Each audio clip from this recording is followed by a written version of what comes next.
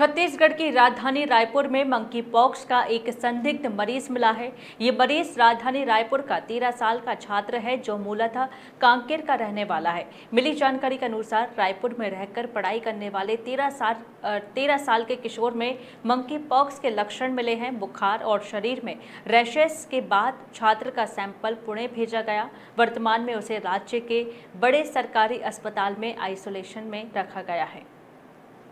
रायपुर में एक बच्चे को जो तेरह वर्ष का है, उसे मंकी पॉक्स के कुछ लक्षण दिखे हैं। इसके लिए उसको आइसोलेशन में मेकाहारा में भर्ती रखा गया है और इसकी जाँच के लिए सीरम को एनआईवी पुणे में भेजा गया है।